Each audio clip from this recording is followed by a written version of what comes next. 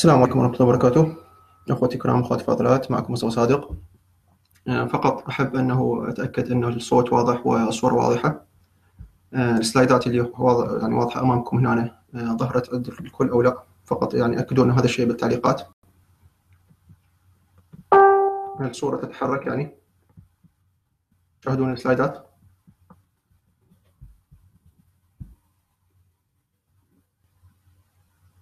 السلايدات واضحة. فقط أكدوا أن هذا الشيء بالتعليقات. خلينا نبدأ إن شاء الله.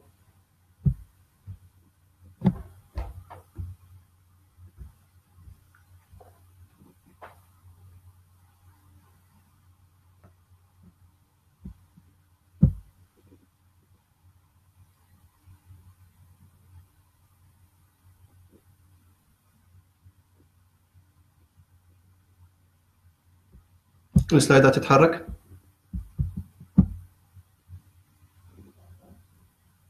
يعني الآن إذا حركنا السلايدات تظهر لكم جميعا إن شاء الله. نتأكد من هذا الشيء.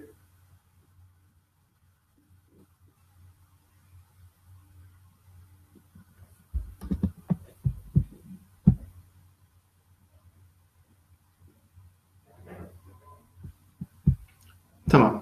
نبدأ على بركة الله. بسم الله الرحمن الرحيم. السلام عليكم ورحمة الله وبركاته. أخوتي الكرام أخوات الفاضلات معكم مصطفى صادق. طالب دكتوراه هندسة حاسبات جامعة تينيسي ناكسفيل الولايات المتحدة الأمريكية. سابقا عندي بكالوريوس وماجستير دكتور يعني في هندسة الحاسبات من جامعة البصرة في العراق. بداية أحب أشكر أستاذ منهل على الدعوة الكريمة ل يعني إنشاء هذا ال live webinar أو ال live video عن تقنية إنترنت الأشياء في group ال network communications على الفيسبوك. مثل ما هو واضح هنا. آه، هذه ال slides ات إن شاء الله راح نستخدمها في الشرح راح تكون متوفرة يعني هي وال references أو المصادر اللي استخدمناها في تجميع هذه ال slides ات آه، يعني بعد إكمال هذا ال live.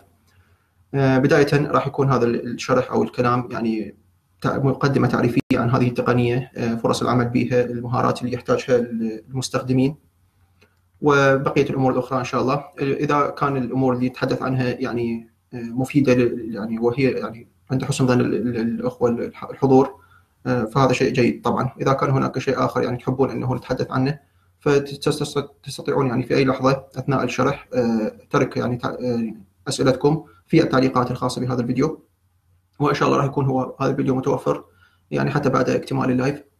إذا اعتقدتوا أن هذا الشرح راح يكون مفيد لأصدقائكم لأناس آخرين في جروبات أخرى أو في صفحات أخرى فيا حبذا أنه تقوموا بمشاركة الرابط لهذا البث. آه، بداية الكلام هذا طبعا راح يكون موجه لكل المختصين أو المهتمين بمجال تكنولوجيا المعلومات آه، بصورة عامة.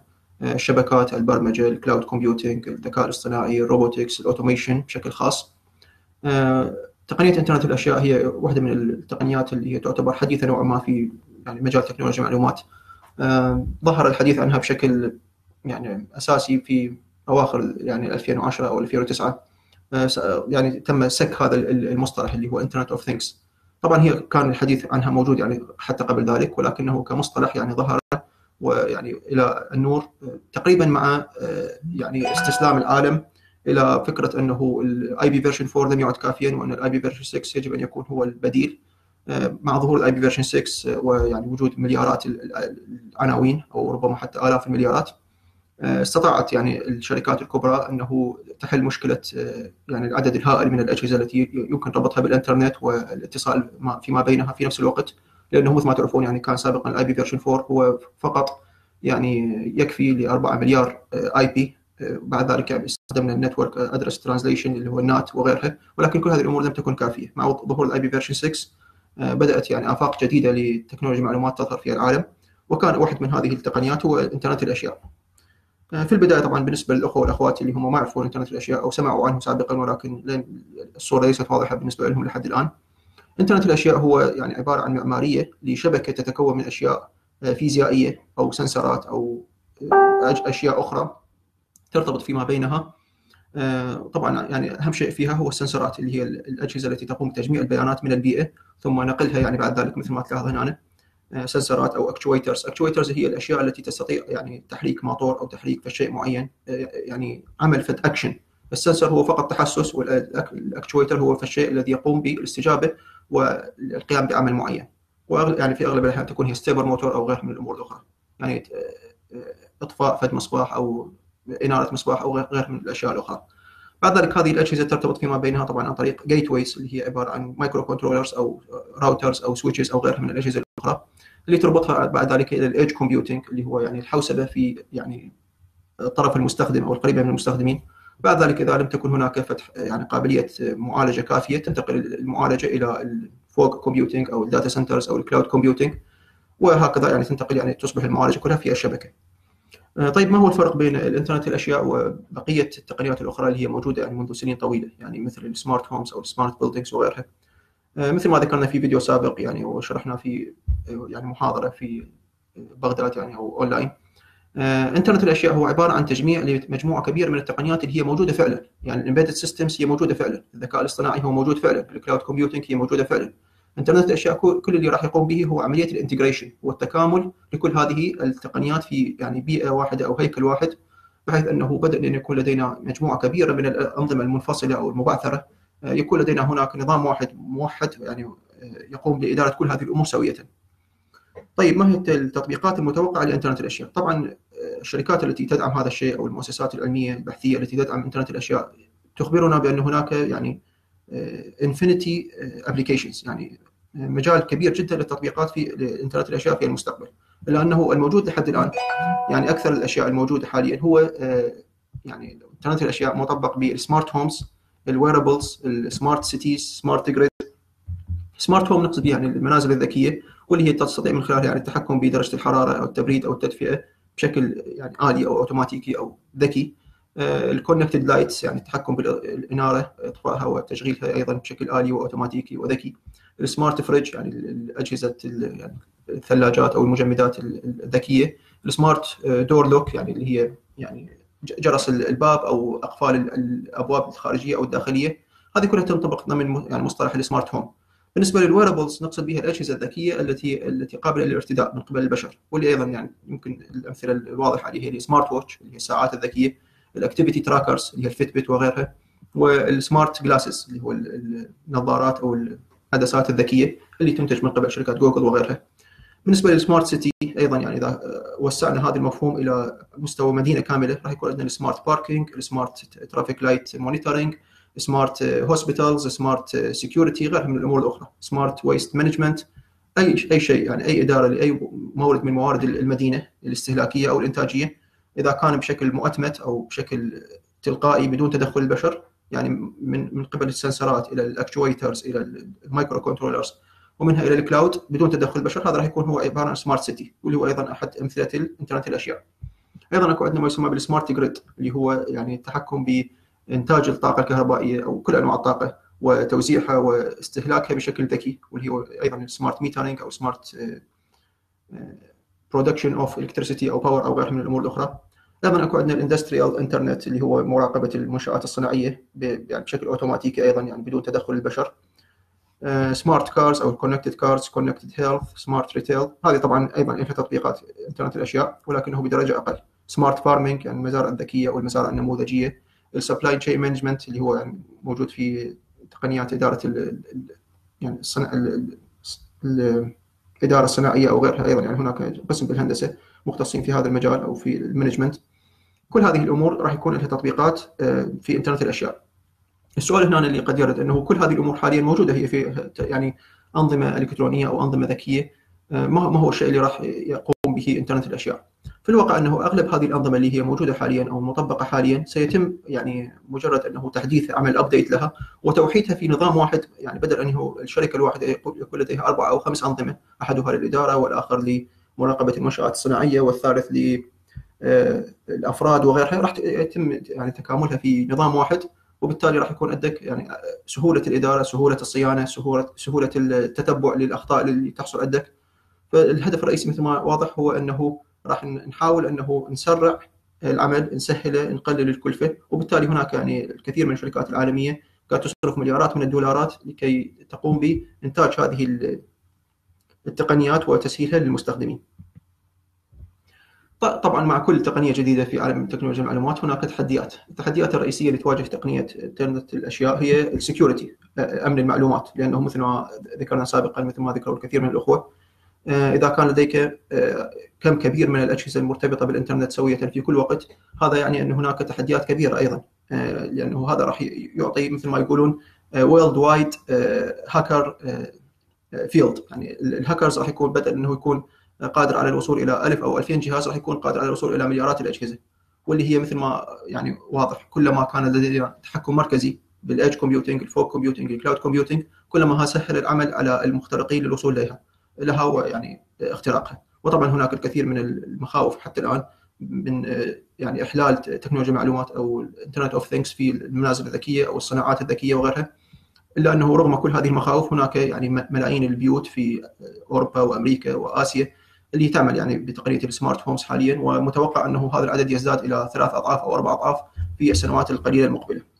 الكونكتيفيتي أيضا يعني تقنيات الاتصال أو تقنيات الشبكات الموجودة حاليا هي قادرة على ربط مجموعة من الاجهزه محددة يعني بتقنيه ما أو طريقة ما. يعني عمليه الإنترنت مصممة أنه تقوم بإدارة 200 300 مليون 400 مليون جهاز مثلا أو عده مليارات من الأجهزة. لأنه إحنا نتوقع راح يكون عندنا 50 60 ضعف من هذا العدد في السنين المقبلة. مما يعني أنه هناك تقنيات جديدة للاتصال يعني على مستوى الشبكات والاتصالات يجب أن يتم استحداثها لكي تقوم بإدارة هذا العدد الهائل من الأجهزة المرتبطة سويه. وطبعا هذه يعني تأتي مع الكثير من يعني التقنيات والبحوث والأمور اللي تهم المختصين في مجال الشبكات والاتصالات. ال compatibility وال longevity اللي هي يعني كيفية توافق الأجهزة المصنعة من قبل يعني شركات مختلفة. وهذه طبعا راح تقودنا إلى ال standards اللي هي المقاييس العالمية واللي هي نفسها ال standards اللي يعني في عالم الشبكات والاتصالات دائما إحنا نركز عليها انه يجب أن تكون كل الأجهزة المصنعة من مختلف الشركات متوافقة مع بعضها البعض من خلال اتباعها للمقاييس العالمية. حاليا أيضا يعني واحدة من المشاكل التي تواجه الإنترنت الأشياء هو أنه ليس هناك مقياس عالمي موحد لكل الأجهزة. فقد تكون الأجهزة اللي تقوم يعني سيسكو بتصنيعها غير متوافقة مع التقنيات اللي تقوم جوجل بإنتاجها والعكس بالعكس يعني. فهناك يعني حاليا يعني جهود كبيرة جدا من قبل كثير من المؤسسات العالمية ومن ضمنها ال I triple اللي هي Institute of Electrical and Electronic Engineers هذه هي يعني مهتمة بشكل كبير في وضع standards اللي هي المقاييس العالمية لتقنية إنترنت الأشياء لكي تعرف ما هو إنترنت الأشياء وما هو ليس إنترنت الأشياء وما هي الأمور التي يجب أن يعني يتصف بها كل جهاز أو كل sensor أو كل يعني تقنية ترتبط بما يسمى بإنترنت الأشياء.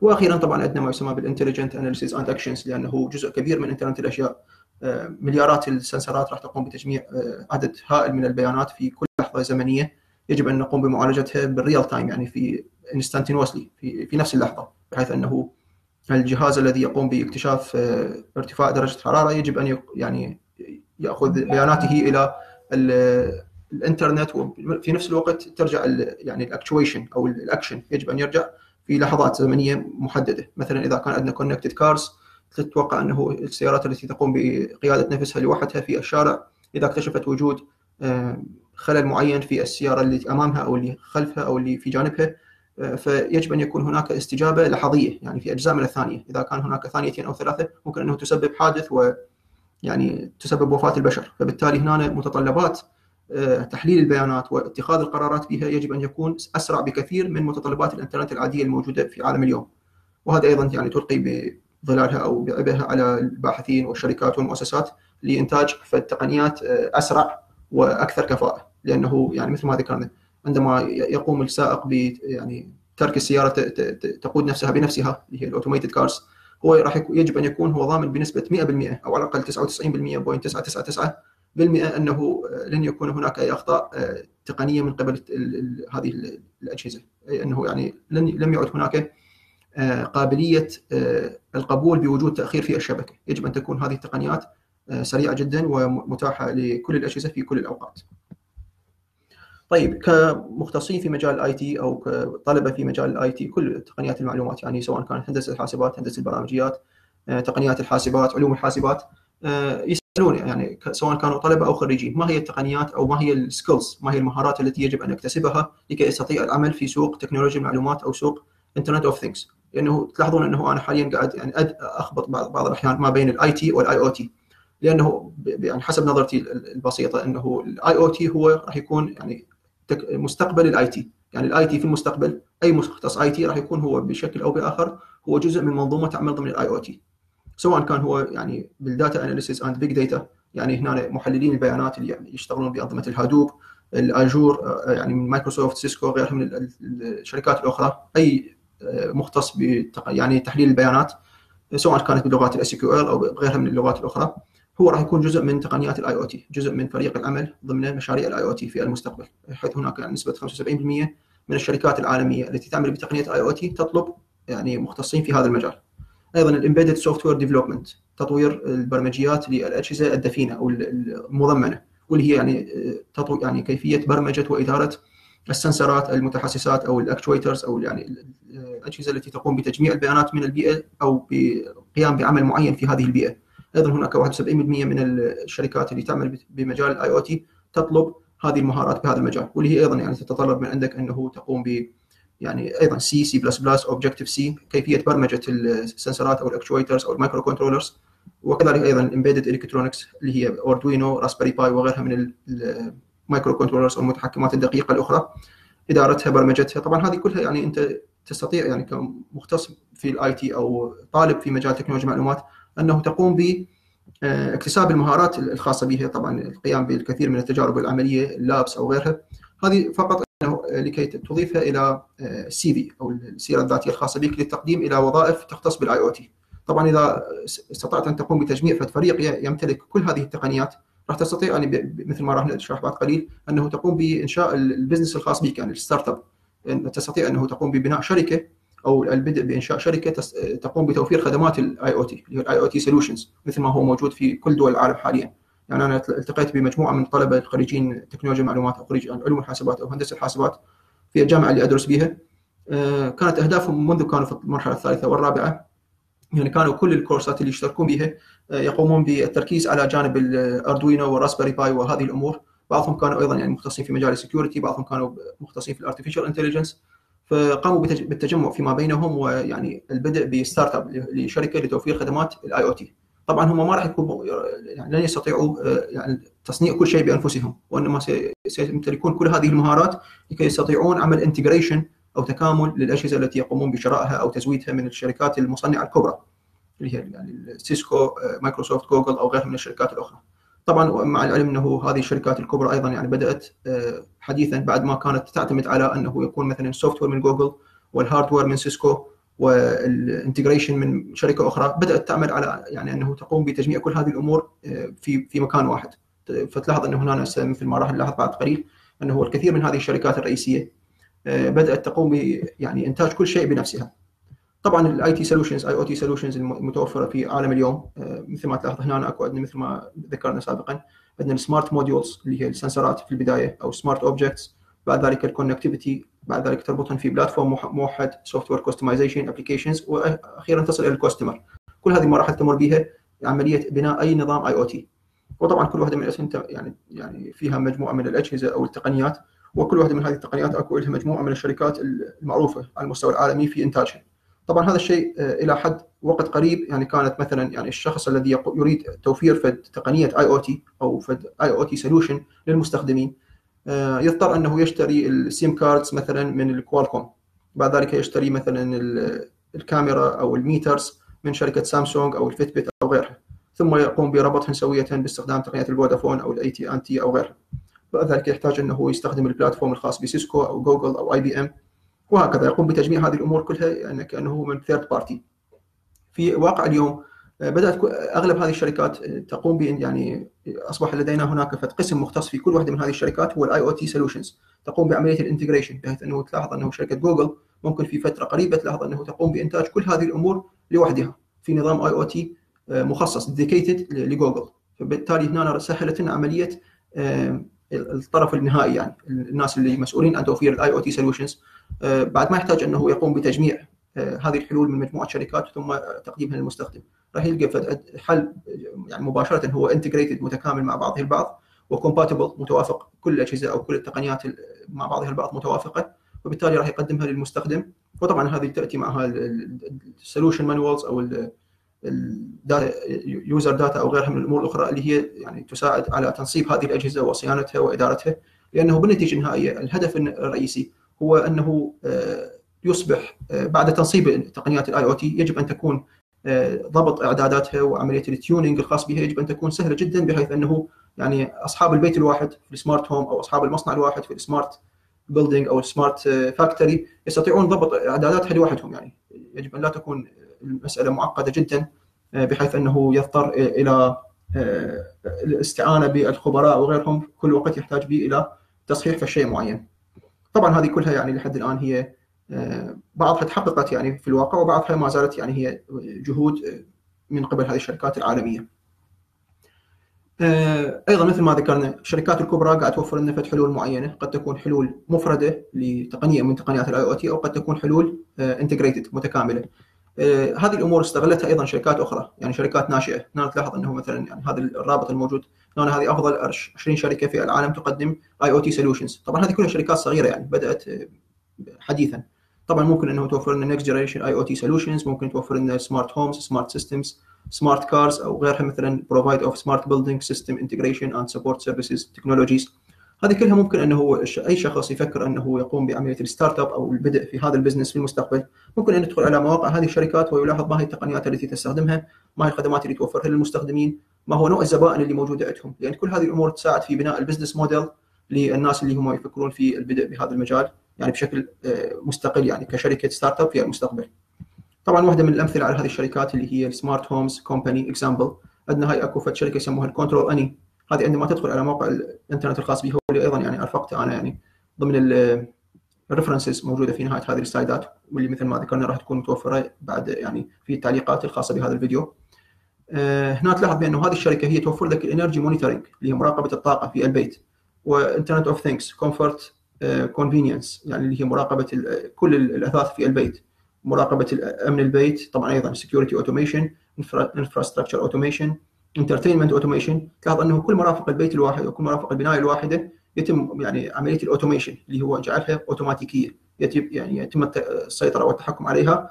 بضبط أعداداتها في البداية وتركها. بعد ذلك هي ستقوم يعني بتطوير قراراتها الذكية من حيث زيادة درجة الحرارة تقليل درجة الحرارة إطفاء الأنوار أو تشغيلها طلب order لفد يعني مأكولات معينة أو منتجات معينة إذا كانت الثلاجه فارغه أو غيرها، كل هذه الأمور هي يعني عملية automation لحياة البشر، طبعا الهدف الرئيسي منها هو تسهيل حياة البشر، وإن كان مثل ما ذكرنا يعني ممكن أنه تجلب معها الكثير من المخاطر الأمنية أو سوء استخدام أو غيرها ولكن هي حال حال بقية التقنيات التكنولوجية الأخرى، يعني ليس هناك تقنية خالية من المشاكل أو العيوب. ولكنه بمرور الوقت بما أن الشركات والمؤسسات الأكاديمية والبحثية تعمل على إيجاد حلول لهذه التقنيات أو هذه المشاكل فنتوقع في المستقبل أن تكون هذه الأمور يعني أفضل بكثير.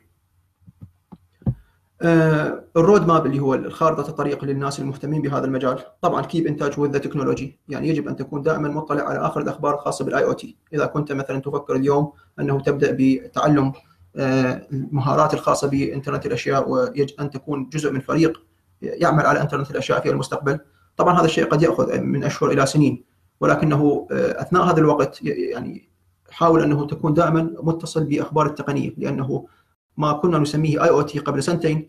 ممكن أن لا يكون نفسه هو ال IoT الذي نسميه اليوم. ممكن أن يكون ليس ال IoT الذي سيكون بعد سنتين أو أربع سنوات. لأنه مثل ما ذكرنا هي تقنية حديثة وما زالت في طور ال standardization ما زالت في طور تحويلها من مجرد كلام أو من مجرد تقنيات مبعثرة أو منفصلة إلى فد standard مقياس عالمي موحد يجمع كل التقنيات الأخرى في داخله.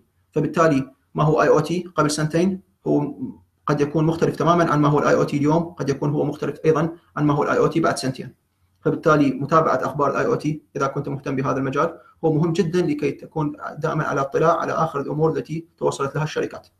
develop your skill set مثل ما ذكرنا يعني مجموعة المهارات اللي تحتاجها في انترنت الأشياء اللي ذكرناها قبل قليل اللي هي تحليل البيانات الذكاء الاصطناعي البرمجة الشبكات غيرها من الأمور الأخرى. حاول إنه تطور مهاراتك في هذا المجال وطبعا ال certificates الخاصة بكل واحدة من هذه التقنيات هي موجودة اونلاين ومشروحة من قبل الأخوة والأخوات. يعني معروفة مثلا ما الذي تحتاجه لكي تستطيع إدارة ال Raspberry Pi وال Arduino معروف مثلا أيضا ما الذي تستطيع ما الذي تحتاجه لإدارة الراوترات والسويتشات الخاصة ب Cisco مثلا أو ما هي الأمور التي تحتاجها لل virtualization من Linux وغيرها. هذه أيضا كلها الأمور يعني مشروحة والأخوة ما شاء الله يعني في المحتوى العربي يعني يزيدون من هذه الأمور يوما بعد يوم.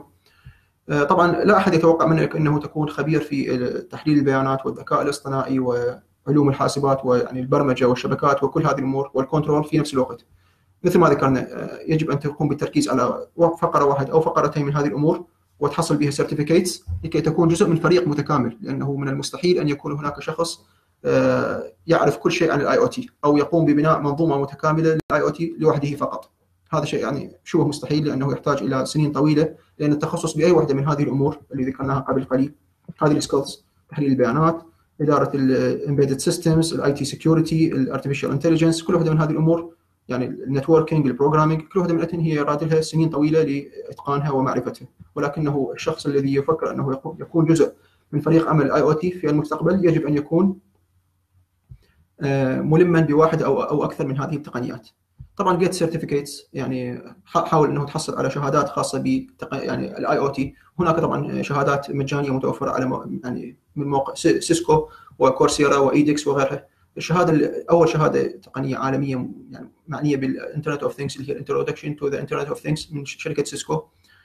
طبعا قمت بشرحها يعني باللغة العربية يعني مجرد ترجمة وشرح هذه الشهادة باللغة العربية وأيضا منشورة يعني هي على الموقع الخاص بي.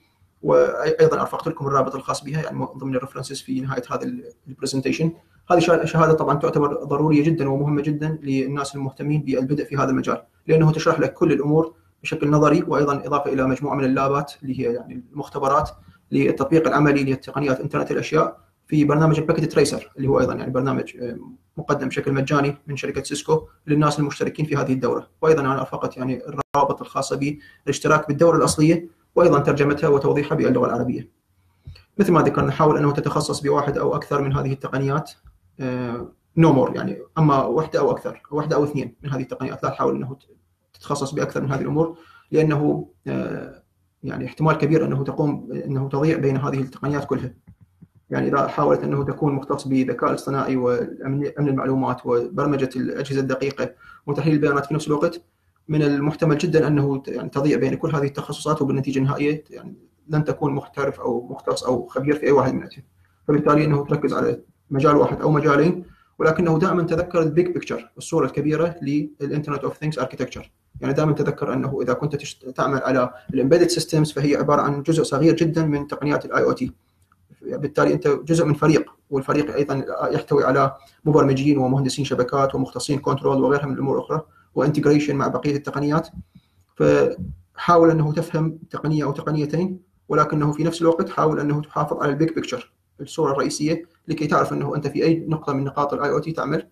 وأخيرا طبعا planning to start your own company إذا كنت تفكر أنه تقوم ببناء شركتك الخاصة يعني للعمل في مجال ال IoT مثل ما ذكرنا plan well and ask experts يعني حاول أنه تقوم بتخطيط جيدا لهذه الشركة. واسأل المختصين والخبراء وحاول أنه تدخل على الإنترنت وتلاحظ يعني مجموعة الشركات التي تقدم خدمات IoT في العالم اليوم يعني IoT solutions حاول أنه تعرف ما هي التقنيات اللي يستخدموها ما هي الخدمات اللي يوفروها للمستخدمين وأيضا ما هو ال business model اللي هو يعني نموذج العمل الخاص بهذه الشركات. طيب where to go where to get help يعني إذا أحببت أنه أبدأ في مجال تكنولوجيا المعلومات اللي خاصة بإنترنت الأشياء. من أين أبدأ؟ طبعا يعني دائما تذكر أنه أنت لست وحدك في هذا المجال، هناك الكثير من الناس الذين بدأوا في هذا المجال على مستوى الوطن العربي عامة وعلى مستوى العراق خاصة. أحد أساتذتي يعني في جامعة البصرة دكتور علي أحمد يعني رجل مساهم بشكل كبير في تقنيات إنترنت الأشياء وعمل الكثير من ال presentations وال workshops وال conferences الخاصة بتقنيات إنترنت الأشياء وال security الخاصة بها وكيفية يعني البدء في هذا المجال وتضمينها ضمن المؤسسات الدولة أو المؤسسات الصناعية وغيرها. أيضا أكو عندنا ال Uruk Electronics أكو عندنا ال IoT Makers أكو عندنا دكتور مازن صاحب أول كتاب عربي يعني في مجال تكنو يعني إنترنت الأشياء. هذا هو الكتاب هذا العنوان الخاص به وأيضا هو يعني قام هذا الكتاب يعتبر يعني كتاب ممتاز جدا للبدء في هذا المجال. كتاب باللغة العربية يوفر لنا كل ما يعني يهم المختصين في هذا المجال وللبدء في هذا المجال طبعا. هناك أيضا كتاب آخر يعني صدر له حديثا اللي هو يعتبر نسخة أصغر وأيضا يعني للمبتدئين فقط.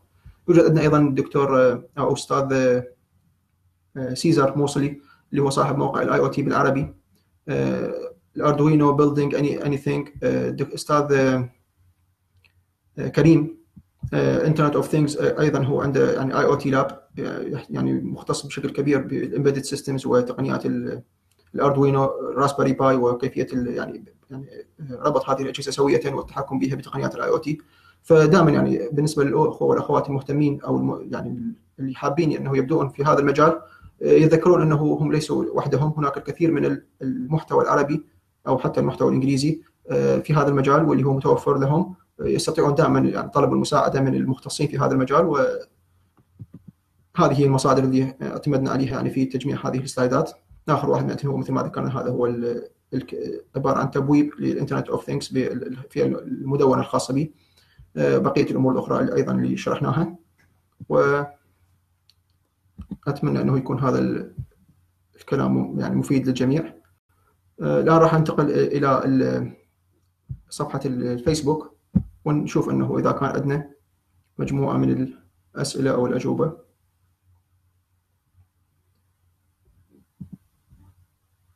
تمام. الواضحة واضحة. إذا كان هناك أي أسئلة أو أجوبة أي أسئلة عن الأمور اللي شرحناها لحد الآن فيعني تستطيعون أنه تتركوها هنا في التعليقات.